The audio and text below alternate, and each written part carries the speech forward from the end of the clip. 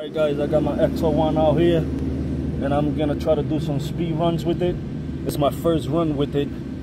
Um, I haven't do the upgrade gears on it yet. I'm running the stock.